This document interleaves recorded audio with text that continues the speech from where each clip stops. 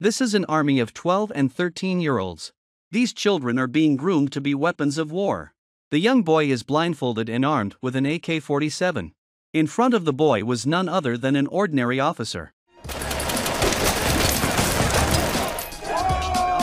The boy took off his blindfold and couldn't believe what had just happened. The boy's father was on his way to rescue him. After days of trekking through the mountains, Solomon arrived at the place where the diamonds were dug before. The place was heavily guarded and impossible to get to. Archer asks his superiors to launch an airstrike. This will allow him to take the best pink diamonds out of the chaos. At night, while it was raining, Solomon broke into the enemy camp alone. Here he finds his son playing cards, but by now the son had been severely brainwashed. After some pestering, the son who had lost his humanity stood up and argued with him, and pushed his father down. The son called for his sidekick to take him down directly.